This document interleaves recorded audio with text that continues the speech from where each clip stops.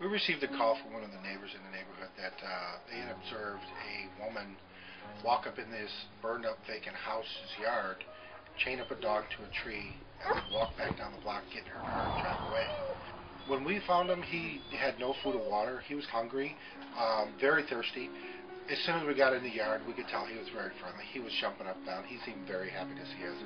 Once we unhooked him, he kind of wanted to run around and play, but uh, we obviously had to get him back to the shelter.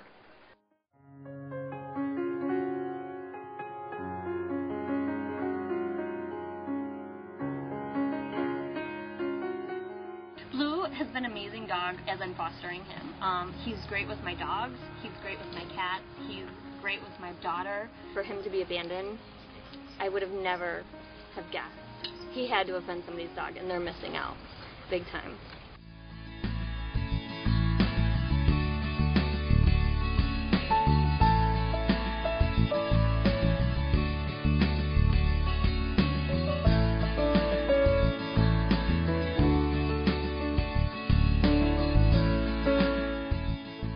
Fostering is just an amazing experience all over.